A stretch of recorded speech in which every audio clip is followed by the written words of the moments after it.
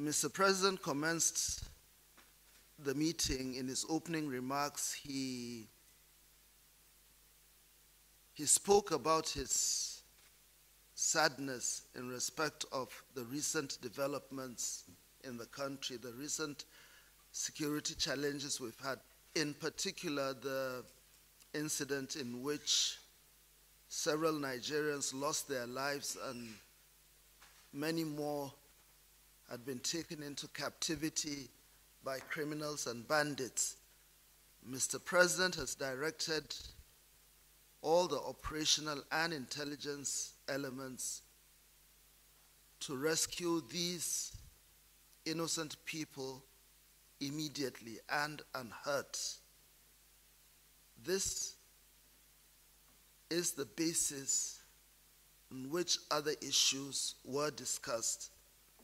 Obviously, the service chiefs, the chief of defense staff, and the service chiefs, as well as the inspector general of police, all briefed the president on the occurrences in their respective organizations.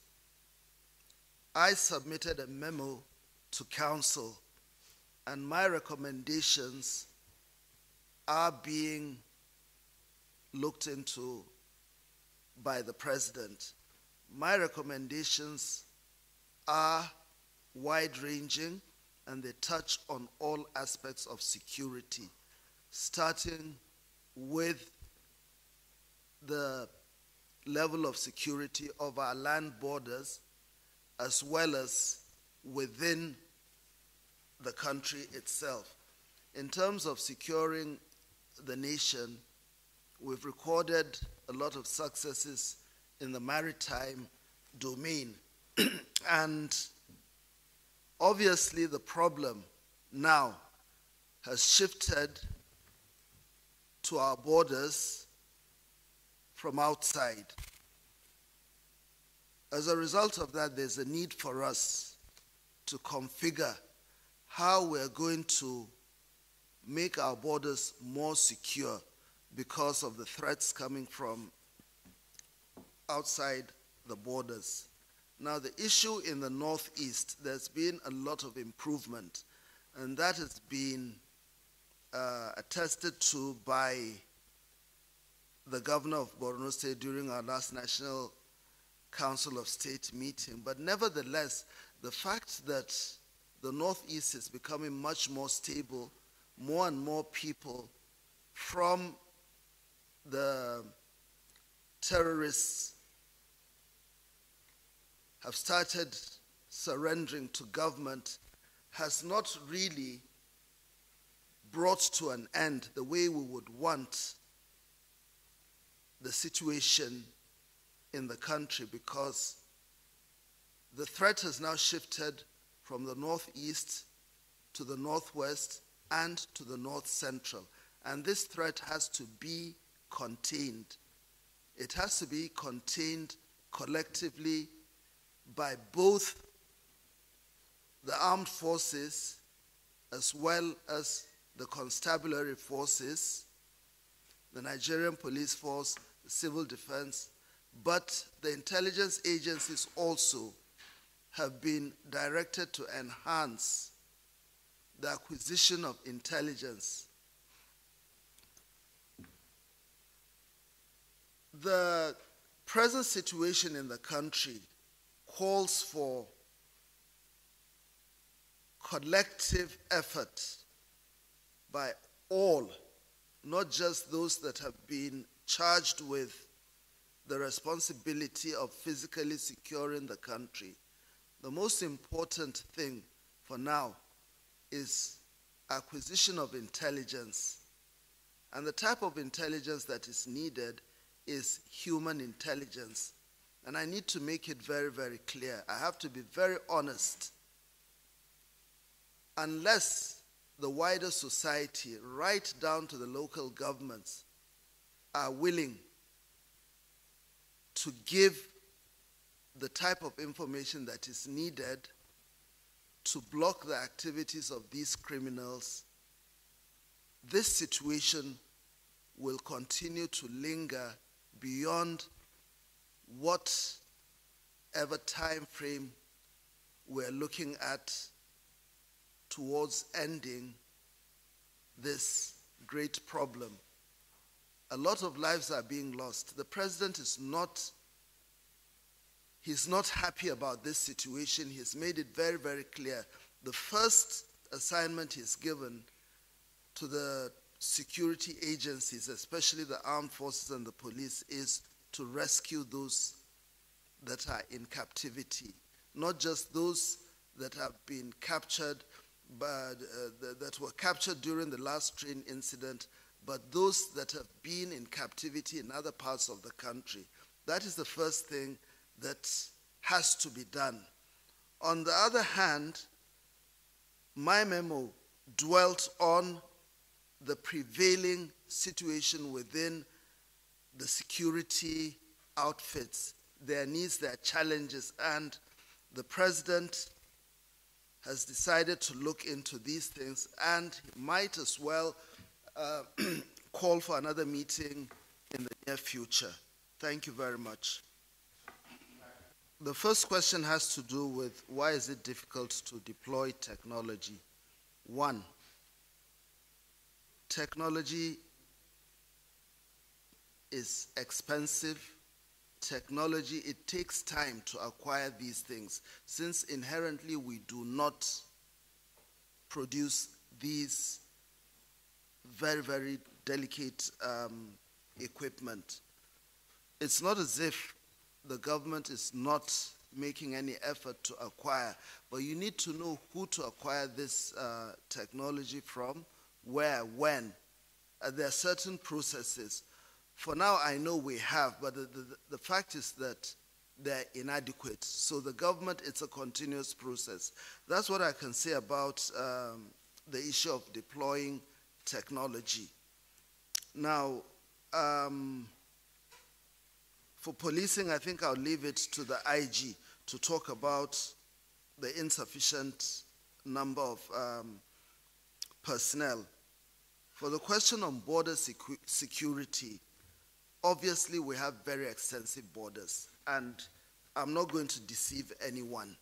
All of us know that we have problems of um, infiltration by virtue of the fact that we have a very large economy. It attracts a lot of people from outside, and they come in illegally, not just through the land borders, but also through the maritime borders.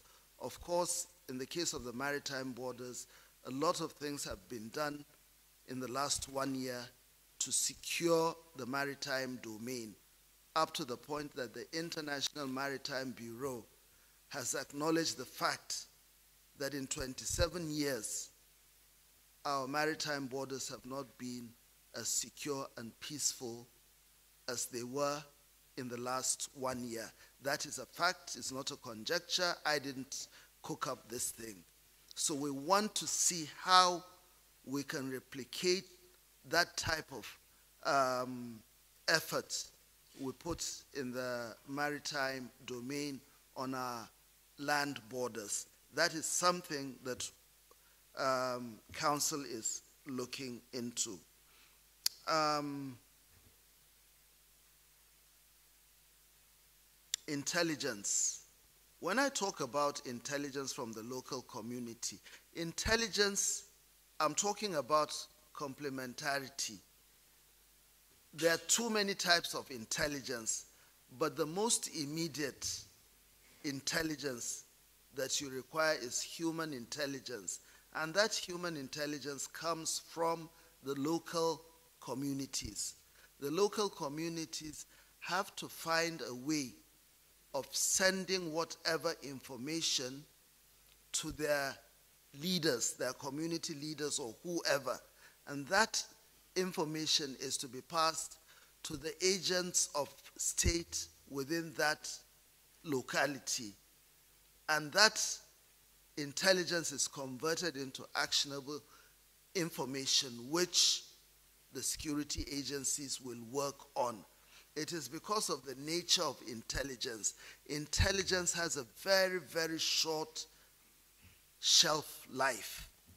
if something happens and you do not deliver it to the right person, perhaps you've been giving your intelligence to the wrong people, and that is why it is compromised. You must be able to seek out the right agents of government to give them that intelligence, and they can pass it on to the next layer. And that is how they can use other elements to deal with whatever problem that exists. So that is what I mean by getting intelligence from the local community. It's not something that is compelling. It's we have to look after each other's interests. You have to be your brother's keeper because the troops we have, the policemen we have, are not everywhere at the same time. That type of ubiquity is not possible for us. So we need to rely on human intelligence, which is the most accurate. But if you are averse, if you are inhibited, then it makes it difficult for all of us. So that is what I mean by that. Well, someone also said that I'm always saying the president is not happy. The president, how can the president be happy in a situation when people are dying? He can never be happy. If 10 times something happens, 10 times he'll be unhappy. And he has to, as the leader of this country, the father of the nation, he has to express his displeasure. You know, he is just at the managerial level. He gives out the instructions, you know, and his displeasure is probably because he feels enough is not being done. So we can't put this thing on his shoulders completely. He's at the strategic level, he takes his decisions. But when these things become endless, he has to express concern, and that is what he did. Let me answer Bolaji's question with respect to the order given by the president to rescue hostages. The Kaduna train incident was like the last straw breaking the camel's back. The president is using that as a reference point to let the security agencies know that they have an obligation to get everybody, every innocent soul that is in captivity out of captivity. It's not particular just about the Kaduna incident, but about all other incidents. Now, the way and manner in which they will be rescued is beyond me. It's not something I'm willing to disclose because that in itself can become a springboard for compromising whatever effort will be put into. I have to be very, very honest with you. That is one. Now, the thing I said about local intelligence is that local intelligence complements other forms of intelligence, whether it's signal intelligence, technical intelligence, measurements, and whatever. You see, it has to be complemented. Whatever intelligence the intelligence agencies have is usually an expansion of local intelligence that local intelligence is very, very critical. And I know a lot of people are suspicious, a lot of people are averse. Moreover, a lot of people want to hide their own, regardless of what your own is doing. You feel the need, whether it's maternal, paternal, whatever, you have that need. It's a psychological thing that we have to break away from you see someone who is inherently toxic and you want to hide him. You are not just doing your community, but the entire nation a disservice. This is what I mean by local intelligence. You have to bite the bullet, you have to make up your mind, as painful as it is. You must give away that person, whether he's addicted to drugs, whether he's helping people to bring in small arms and light weapons illegally, whether he's colluding with bandits, whether he has 500 SIM cards in his pocket, which is giving criminals. Once you know, and you identify. That is what we mean by local intelligence, human intelligence. On the other hand, again, if there's a suspicion between the local community and the agents of government, it is not helpful. It is natural in our type of society because we don't expect everybody to operate on the straight and narrow. You have elements in uniform who can be rogue elements. Out of 200 people, you could have a handful that are operating Eh, eh, at cross purposes, outside the confines of legitimacy or legality. So the problem here is that we have to weigh all these issues. And it can make the local community uncomfortable. I admit that. You are perfectly right that if you have a perception that there are bad elements, and those bad elements, you report them to the local commanders, and the local commanders, for whatever reason, they are reluctant to deal with those people, then it exacerbates it exacerbates an already delicate situation, and you will be reluctant to lose your life or to allow harm to come to you. I understand that, and that is something we've been going over day in and day out with the intelligence and security agencies. It's a genuine concern.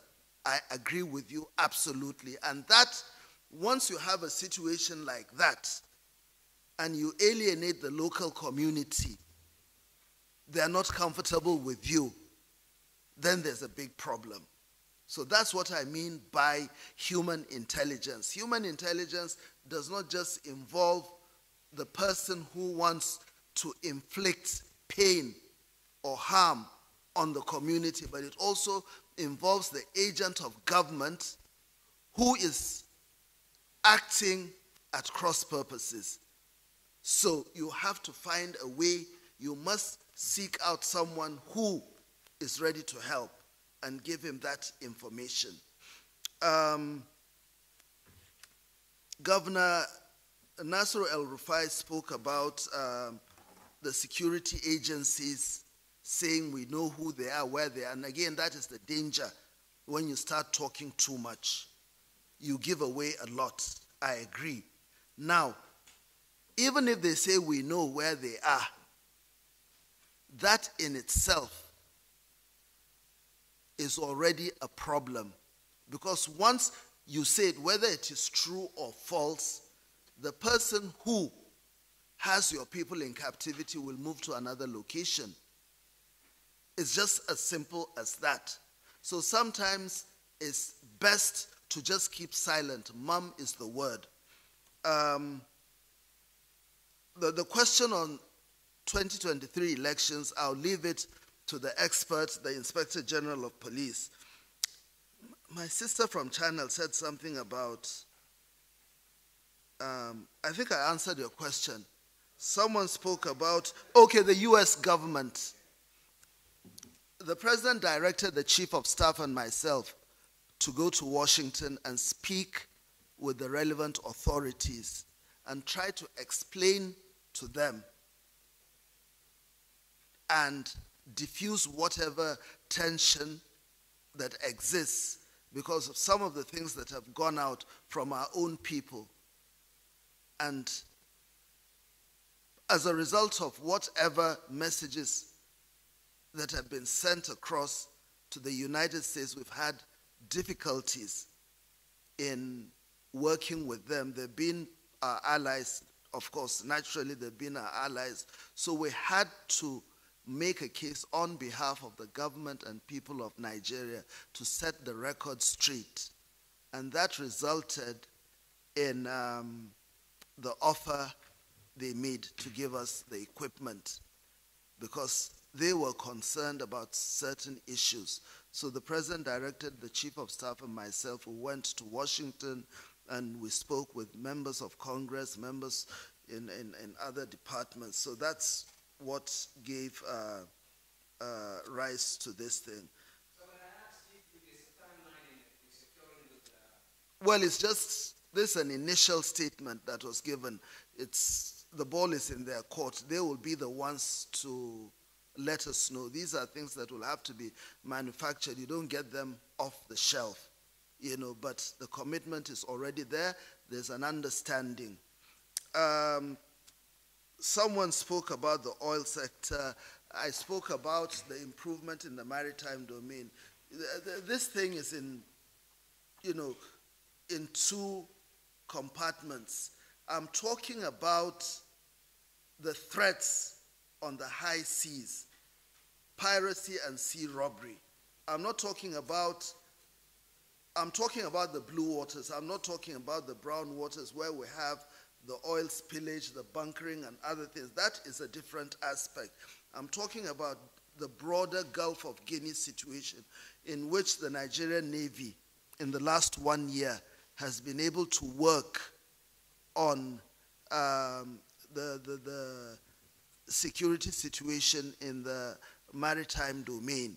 And that is what will lead to us trying to see what we can do with the land domain. You are right about the oil production and other things. That's a different issue which is being worked on in conjunction with the management of the NNPC as well as the security agencies. They're well aware of that and something is being done. It's just that I don't think it's necessary for me to go into details here. So maybe the Inspector General of Police will answer the question on the uh, forthcoming elections.